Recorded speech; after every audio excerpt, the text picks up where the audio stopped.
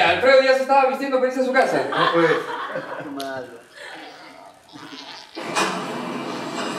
Hola, ¿cómo estás? Miguel, un abrazo. Hola, hijo. Me gusta tu entrevista, me gusta lo que estás diciendo y sobre todo una cosa, me enorgullejo de ti. Nunca te he dicho que estoy orgulloso de ti, bueno, te lo digo ahora que no me estás mirando. Estoy muy orgulloso de ti, de saber que eres el actor que eres, de que estás llegando a lo que siempre te planteé. O eres un número uno o te retiras de esta profesión que es muy ingrata. Y estás camino de ser uno.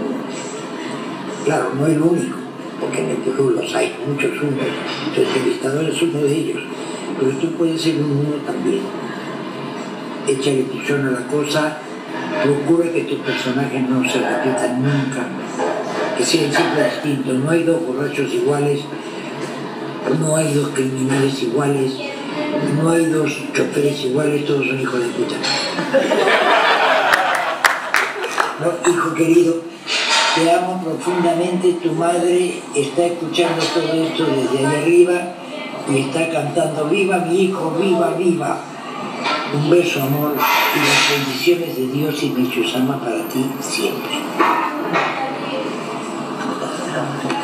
Don Enrique Victoria no pudo venir hoy día porque tenía función, así que me pidió grabar este mensaje. Lo grabamos en una cafetería, así que escuchamos con más claridad a la señora que lavaba los platos. Que, Enrique, le pido disculpas por la calidad del audio, pero digamos que era una oportunidad que no quería dejar pasar. La primera vez que trabajé con mi papá en escena, ya, en televisión habíamos otra cosa, pero fue en una obra que se llama La Fiaca, que está haciendo ahora de Iván.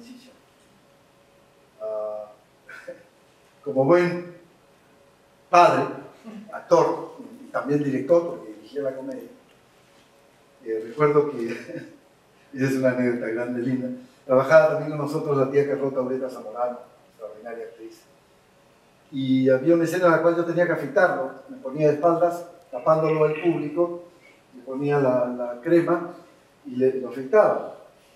Claro, director y padre, preocupado, trabajo del hijo, y en un momento me dice, más rápido, estás muy lento. ¿Quieres que-?" Y yo, yo con los nervios, cállate, conche.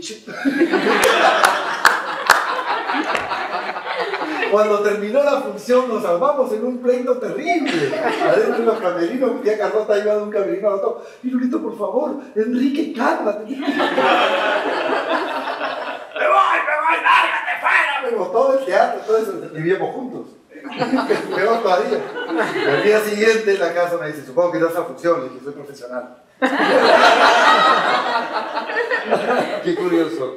Enrique me contó dos cosas conversando. Me dijo, yo, una de las cosas más importantes que le he dicho a Carlos es, cuando eres un actor profesional, los problemas personales se dejan afuera.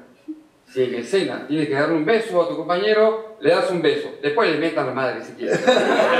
Sí, es muy cierto. Y la otra cosa, y le pregunté a él, ¿cuándo sentiste tú que Carlos era ya un actor? Y me dijo, en la fiaca. Ah, mira tú. Nunca disfruté tanto viéndolo a mi hijo en escena. Ah, Eso fue lo que me dijo. Lo tengo grabado. ¿eh? Ah, yo no lo sabía, gracias.